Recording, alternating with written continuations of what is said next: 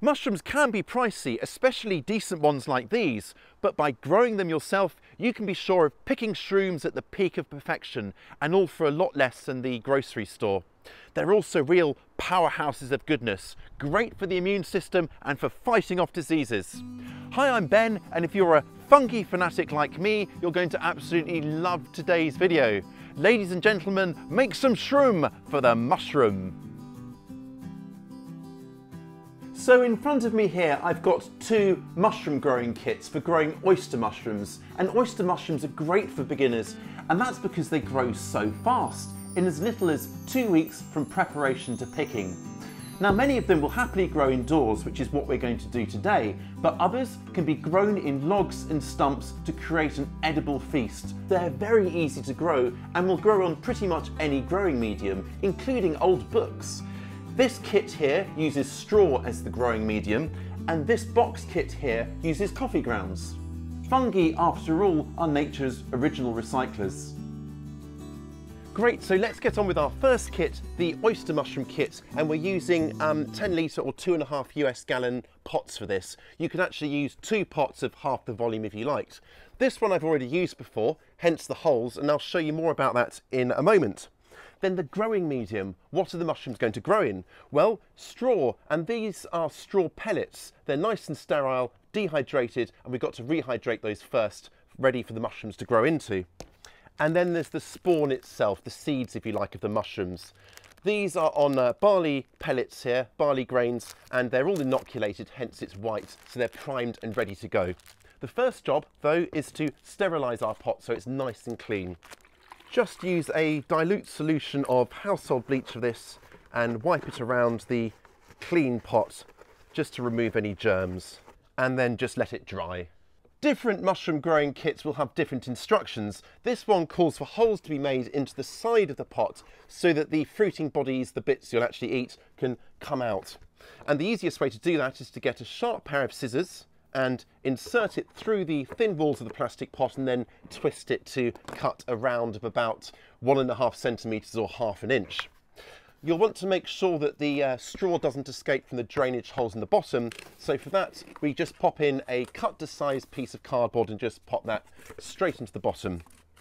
Now we need to fill the pot with our straw and our spawn. First thing though is to break up all the bits of grain here to make it nice and loose so they're all in individual pieces. This makes it easier to mix the spawn with the straw pellets. And in they go.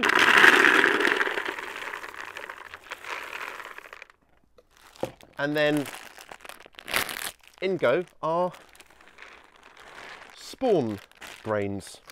And then they just need a really good thorough mix up and make sure you've got perfectly clean hands for this because you don't want to introduce any germs, of course. And then to rehydrate the straw pellets, I'm adding four and a half litres or roughly a gallon of water, half now and half shortly. And it's got to be trickled on really slowly to give the straw a chance to absorb it. If you fill the pot up while it's in a sterilised tray, this will allow the excess water to be absorbed up through the drainage holes as well and then after about half an hour you can add your second lot of water again very slowly to help it all sink in.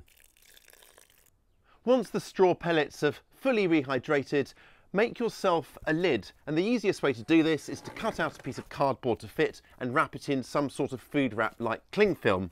Once you've done that pop it over the top that will help to retain the moisture and keep the straw nice and damp. The other thing to do is where you've got a hole, just push the straw in to create a sort of cavity. That creates a moisture environment at that entry point there, keeping the conditions perfectly damp for your mushrooms. Slows evaporation as well. Now it's prepared, we just need to offer warm conditions for the mycelium, or the mushroom roots if you like, to grow.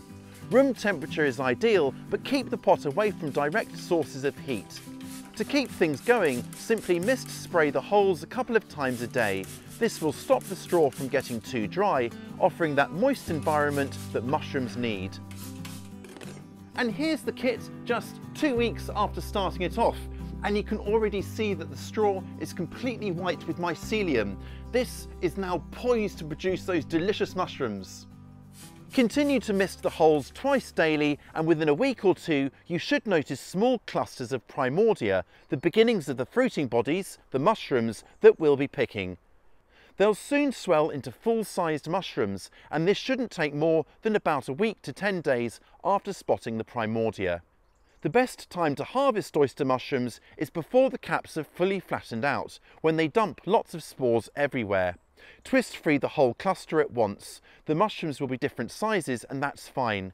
And trim any stump out with a sharp knife right back to fresh straw.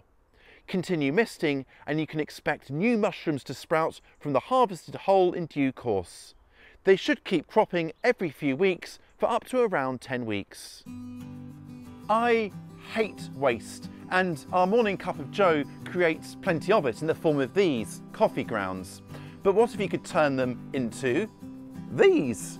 This is what this kit does here. It uses coffee grounds mixed with a little bit of straw to create the perfect growing medium for our mushrooms. Let's get it started.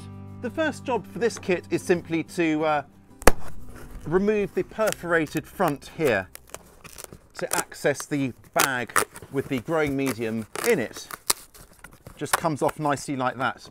Now you'll find many different types of mushroom kits and do use a proper mushroom kit from an approved supplier because you uh, don't want to sort of inadvertently get poisoned or anything like that. Uh, they, they, come with all sorts of growing mediums. We've, we've looked at the straw one. This one uses coffee grounds and straw, but uh, just use what is available in your area. And I'll pop a link to a few suppliers in the video description down below. Right, so we've opened it out and the next job is to just cut open the front here by simply cutting an X into the bag like this. And now we just need to remove the bag from the box and soak it overnight in water pop the bag in the water and because it's quite light at this stage you'll need to weigh it down with something heavy like that. And look at this, this is the same kit just one week after starting it off. And if you look closely, you can already see that the primordia have started to grow. These will grow really, really fast, doubling in size pretty much every day. I only noticed them as tiny pinpricks this morning, and now, just a few hours on, they're very much visible. And here's the kit just three days on. Yes, really. And here it is, five days on. And look how much it's grown. I reckon it's almost ready to harvest. I'll give it one more day. Hey look, and here they are another day on. Let's get on and harvest them. And to harvest, all I'm simply doing is gripping them firmly where they come out of the kit and then just twisting and pulling like that. Get whole clump off like that. Gosh, there's an awful lot here. This is going to be a fantastically delicious and extravagant dinner, right? Oh, yes. What absolute beauties. There we go. That's not a bad harvest, is it, from my first cut?